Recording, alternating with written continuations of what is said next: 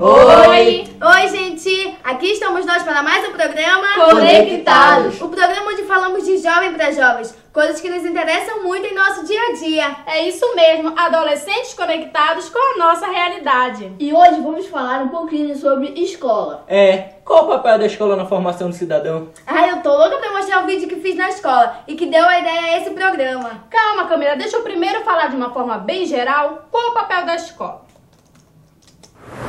Para que serve a escola afinal? Para que os alunos aprendam um pouco sobre cultura, a ler, escrever e fazer contas. Mas para que tudo isso? Para formar alunos capazes de pensar, ter autonomia para tomar decisões e preparados para o mercado de trabalho. Mas nas escolas também aprendemos a nos relacionar com o mundo que vivemos. A escola não deve ser apenas um local de ensino formal mas também de formação cidadã de direitos e deveres, amizade, cooperação e solidariedade. Ou seja, as experiências escolares mudam as pessoas e assim as pessoas são capazes de mudar o mundo. Legal isso que você falou, Patrícia. Realmente, a escola não serve só para nos preparar para o mercado de trabalho. É por isso que eu digo, uma boa escola é aquela que se preocupa em formar cidadãos. É, Renato, falando é até bonito, parece político, mas na realidade isso é bem mais complicado. Como assim, Camila? Tá falando do quê? Eu tô falando que para ter uma escola cidadã não é tão simples assim. Vou mostrar a vocês uma filmagem que fiz com o celular na minha turma. Prestem atenção. Licença, professora. Epa, epa, epa, que isso? Que bagunça é essa? Olha aí, professora de mexendo. Ai, vamos respeitar a colega, né, gente? Que isso? Também, né, Juliana? Vem pra escola vestida desse jeito. Que que tem, Nora? Nem posso me vestir mais como eu quero. É, depois acontecem esses casos violência sexual contra as mulheres, aí ninguém sabe por que foi, né? Tá, quer dizer que se me violentarem, agora ser culpa minha, né? Não é isso, Juliana. É que a gente tem que saber se comportar, a gente tem que saber o nosso lugar, né? Agora vai, vai pro teu lugar, vamos continuar a aula.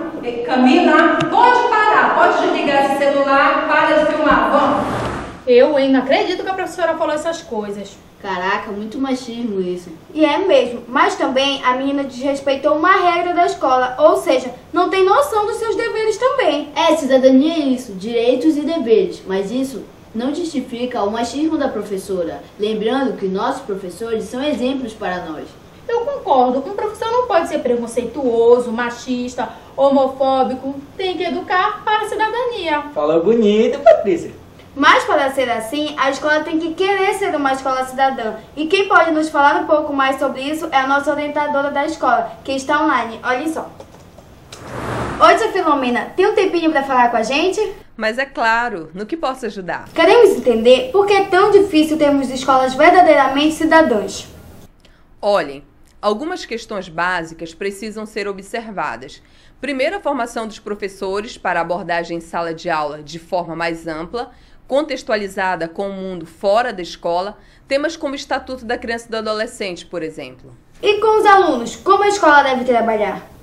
A escola precisa trabalhar continuamente com os alunos, visando despertar a cidadania neles, trabalhando sempre o respeito à diversidade, seja de raça, orientação sexual, o que for. O importante é tratar de assuntos como tolerância, dignidade, tudo o que for inverso ao bullying, ao preconceito, à discriminação e à violência. Outra coisa é dar espaço à participação dos alunos, para que possam contribuir para melhorar a escola, com projetos inovadores, com grêmios estudantis e com voz ativa nos conselhos. Aí sim, a escola vai estar ajudando a formar grandes cidadãos. Legal, obrigado por participar do nosso programa. Por nada, disponha. Por falar nisso, será que todo professor conhece o Estatuto da Criança e do Adolescente? Se não conhece, deveriam conhecer, pois o Estatuto prevê os nossos direitos e deveres, incluindo a educação de qualidade. Olha só, eu achei uma matéria que diz assim.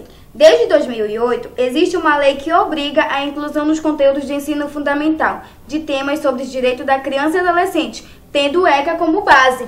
Hum, essa lei ainda não chegou lá na escola. Olha só o que nossos amigos responderam na enquete sobre o que sabe a respeito do ECA.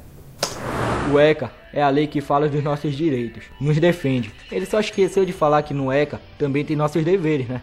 Na escola, o estatuto protege quem infringe as regras, por causa das situações vexatórias. Eu acho isso ruim. Galera, regras quebradas têm de ser punidas. O que não pode ocorrer é o aluno ser ridicularizado na frente dos outros. Os professores têm medo de fazer qualquer coisa agora. Tem até medo de separar uma briga de alunos para não serem acusados de agressão. Nesse caso, o professor não está agredindo, mas sim protegendo os alunos.